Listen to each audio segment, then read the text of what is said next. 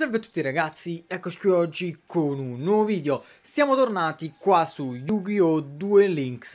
E ragazzi andiamo a giocare un po' in PvP mm, Non voglio neanche perdere tempo a dire le solite cose dei video fatti, non fatti eccetera eccetera Quindi velocemente andiamo a fare qualche partita in PvP ehm, Non so neanche bene che rango sono, comunque sono platino qualcosa e non so, vediamo un po' come vanno le partite. Ne faremo come al solito o due o tre partite. Gioco con il Dino Control, comunque il deck che al momento più mi sta piacendo e facendo divertire, quindi eh, credo che scalerò con questo deck. Questo mese, eh, come tutti i mesi ovviamente, proverò a salire fino al grado re dei giochi. Eh, negli scorsi mesi ho giocato veramente pochissimo. Questo mese, devo essere onesto, un poco poco in più ci sto giocando.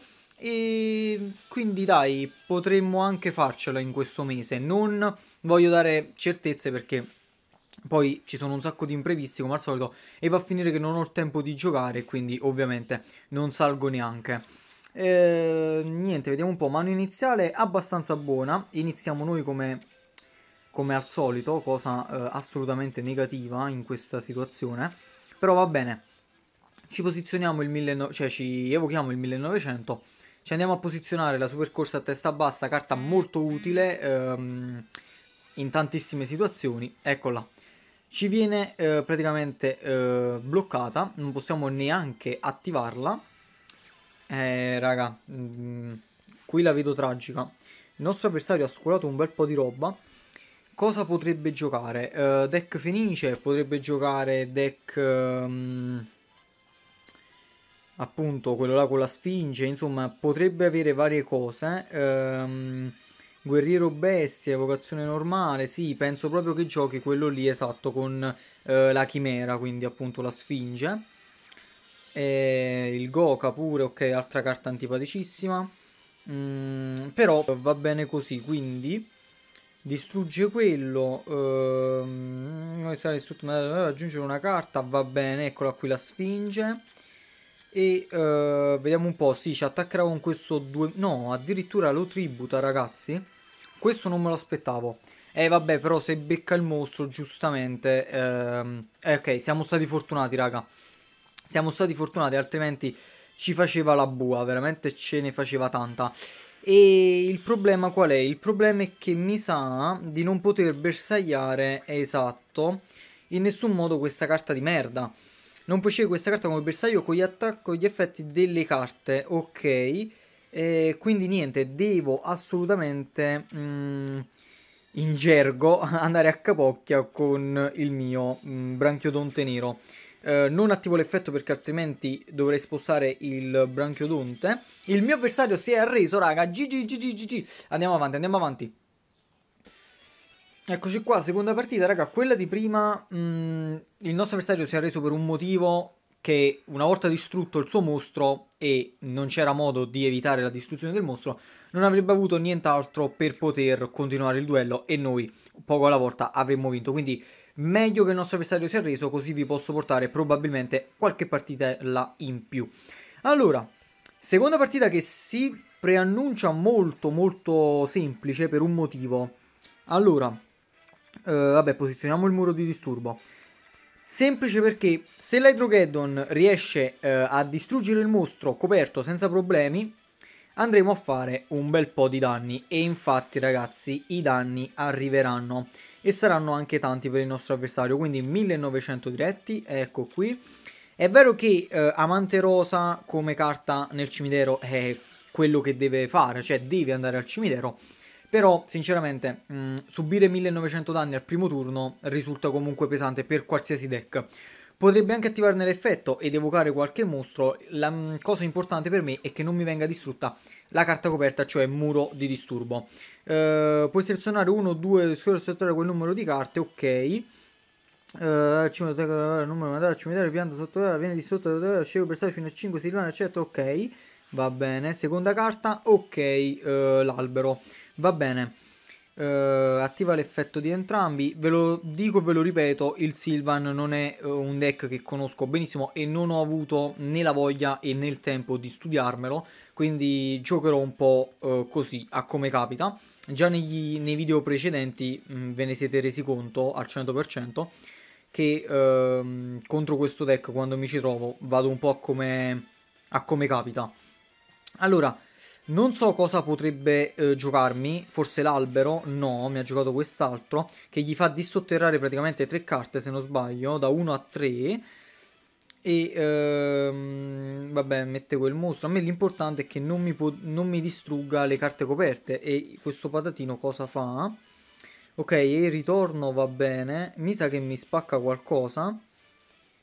Se questo è sotto uh, cioè, puoi scegliere un bersaglio, una strategia sul terreno distruggi quel bersaglio. Porca puttana, ragazzi.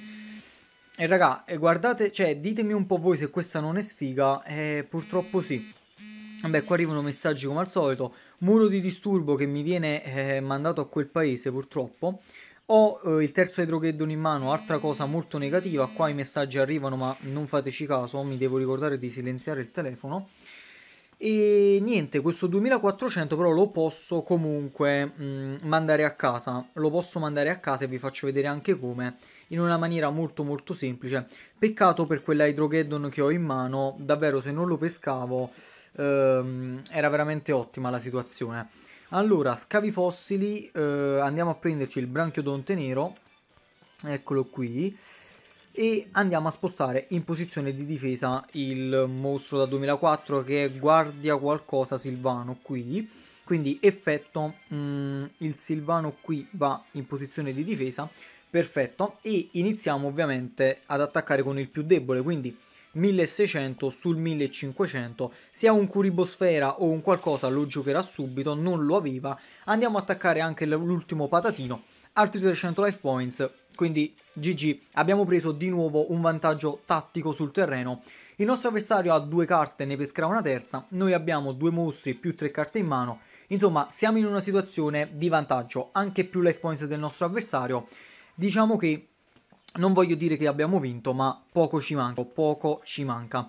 Abbiamo il branchiodonte nero, ovviamente ehm, lo andrò ad evocare e andrò ad attivarne l'effetto. Perché? Perché voglio comunque un po' vedere che carta ha settato il nostro avversario, quindi andiamo a scoprirla. Sperando che non è quello da 2000 purtroppo. E raga, io le cose me le chiamo purtroppo, non so... Non so che dirvi, eccolo qui, il 2000, lo ha sculato il nostro avversario, scula pure Amante Rosa, scula pure quell'altra cosa e raga a questo punto il game lo perdiamo, ve lo dico. Avevamo un vantaggio della Madonna ma purtroppo senza la carta terreno il nostro deck eh, pecca, pecca molto di punti d'attacco e... e niente raga, niente. Non ci posso fare niente, anche perché anche l'elettrosergente mi serve a ben poco. Il branchiodonte non mi può essere utile a nulla in questa situazione. E quindi na nada de nada, raga. Il nostro avversario è vero che ha poche carte nel deck, ma comunque ehm, prima che finisca il deck, insomma, ci ara malamente con questo deck. Perché ho capito comunque che il Sylvan riesce in un modo o in un altro sempre a spaccare carte magie, trappole e mostri con i vari effetti, quindi diventa pesante arrivato a un certo punto. Ehm, ecco, già ha beccato quest'altro mostro, ha, ha beccato il carotone qui che lo rievoca, 1900, ottimissima carta. Questo ancora non ho capito bene che fa, ma mi sa che rimette qualcosa nel deck. E quindi niente, l'unica cosa mh, mm, mi poteva aiutare qualche carta un po' trappolo magia come appunto eh, controllo avversario, super corsa a testa bassa, ma purtroppo ho pescato un altro elettrosergente e sono stato un po' sfigato. Ecco, con l'effetto di quest'altro qui quindi rimette molte carte nel deck e allora niente, devo sperare di campare qualche altro turno e di pescare eh, un controllo avversario, un, uh, una super corsa, insomma qualcosa che mi possa dare un input per poter poi eh, ribaltare un po' questa situazione. Per fortuna ha levato il 2000 e dico per fortuna perché è una cosa che mi fa molto piacere. A meno che non ha un piano per vincere in questo turno, esatto, e quindi abbiamo perso, perché altrimenti con il controllo avversario, che era probabile pescare, potevamo insomma recuperare il game, ma Il Sylvan è un bel deck, non c'è niente da dire, dobbiamo essere onesti, è un bel deck, antipatico, probabilmente anche semplice da fare, per quello che ho visto non ha molte carte eh, di rarità alta, quindi possiamo anche pensare di farlo, dobbiamo un po', un po vedere. Ehm, sì, anche con un controllo avversario mh, mm, non riusciamo a fare nulla, a sopravvivere mh, mm, viviamo insomma, possiamo sopravvivere questo turno, ma servirà ben poco. Quindi, peschiamo. Eh, raga, guardate, le cose non è che me le chiamo, di più. Di più, raga. Allora, ehm, cosa si può fare per vincere questo duello? Niente, perché se gioco, questo è un 1600, faccio 100 danni, in più eh, posso prendermi il 2007 e andare a fare altri 800 danni e neanche vinco, quindi tosta la situazione, tosta, tosta, tosta. Uh, non ho neanche uh, gli Hydrogeddon perché li ho finiti tutti, fatemi controllare. Eh sì, raga, ho, ho finito pure tutti, tutti gli Hydrogeddon. Purtroppo sono stato sfortunato, altrimenti avrei fatto Hydrogeddon, attacco, evoco Hydrogeddon, uh, controllo avversario, prendo 2007, poi uh, distruggo 1009, attacco diretto con 1600 e avrei vinto. Ma purtroppo, raga, non è andata così. Io voglio continuare e penso che poi concludiamo con questa partita, quindi non ne faremo un'altra. Non mi interessa, insomma, preferisco così ehm, concludere questa fino alla fine, senza tagliarvela. Perché? Perché potrei in un modo o in un altro cercare di sopravvivere. Vediamo un po'. Il controllo avversario comunque lo teniamo che può ehm, garantirci un altro turno. Non si sa mai, non si sa mai peschiamo un altro muro di disturbo, eh, il nostro avversario gioca tre mostri e riusciamo a fare qualcosa. Insomma, non si sa mai. Ecco, vedete? Addirittura lui sposta in difesa, quindi mi dà un ulteriore ehm, modo di giocare, quindi controllo avversario. E quindi, raga, non bisogna mai arrendersi. Prima regola Yu-Gi-Oh! mai arrendersi, giocare fino alla fine. Sì, la situazione è tragica. È tragica, ma possiamo farcela. Allora, fatemi pensare, tutto sta a quello che peschiamo, tutto sta a quello che peschiamo, Windstorm.